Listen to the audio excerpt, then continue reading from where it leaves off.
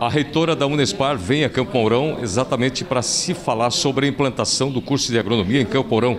Estou com a doutora Salete que vai explicar isso para a gente. Claro que a senhora está participando das reuniões e eu queria até que a senhora falasse um pouquinho dessa sua agenda em Campo Mourão. É, hoje nós estivemos de manhã às 8 horas na Associação Comercial e Industrial de Campo Mourão, né?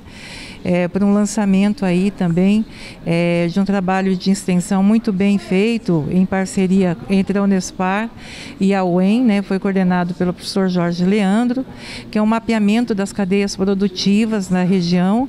E agora às 11 horas nós estamos aqui na prefeitura também com o professor Aldo é, Bona, nosso superintendente, com o diretor de campus, é, o nosso João Marcos, e o professor Adalberto e mais uma equipe para a gente falar também dessa proposta aí do campus né, de Campo Mourão para o curso de agronomia.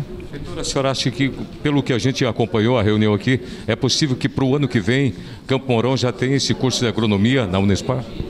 É, nós estamos assim fazendo é, já é, esse, é, estudos técnicos para isso, levando a demanda é, junto à SET, né, e conversando com toda a, a, comunidade. É importante a participação também da prefeitura e da comunidade para que a gente possa lutar né, pelas demandas que nascem dos nossos campi é, universitários. E é bem importante a gente dizer, a Unespar está em sete municípios, né, estamos nas principais cidades e regiões do estado estado do Paraná.